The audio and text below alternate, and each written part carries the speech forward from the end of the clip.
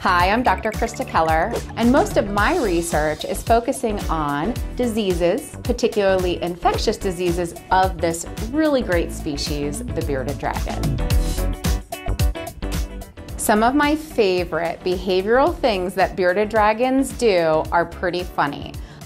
One thing that they really love to do is called arm waving where they will come up to the side of the glass of their aquarium and literally look like they're waving at you.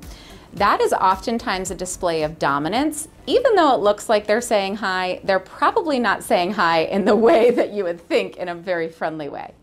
Another important behavioral trait to look for in the bearded dragon is their beard. So here, B is wondering where he's at. He's kind of in a new place, and his beard is quite black he's basically telling me that he's a little bit high energy right now. He might be a little bit stressed. His black beard is like, I'm so over this.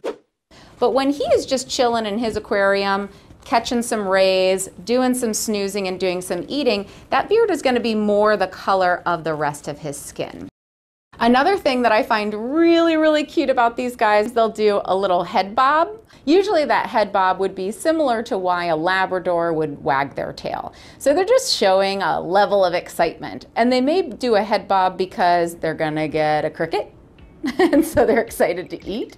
They may do a head bob because they're saying, oop, I'm gonna reach up and bite you, so it can be excitement in terms of aggression, but it always looks really cute when they do all three of these things together, when they have their black beard and showing you how tough they are, they're doing their arm waving, and then they're also doing their head bob.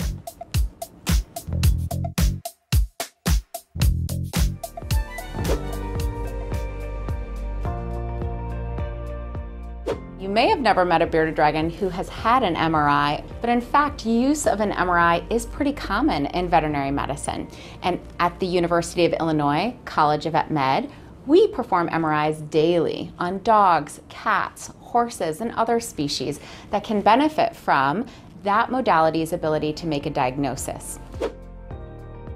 Some signs that your bearded dragon may have something going on inside their brain would really be neurologic signs, whether they have a head tilt or maybe they've had some seizures.